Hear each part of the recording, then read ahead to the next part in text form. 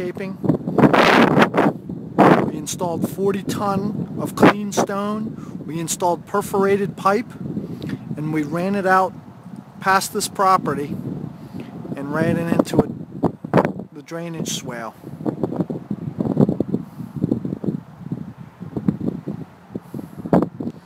We installed hydroseed pellets and finished graded it.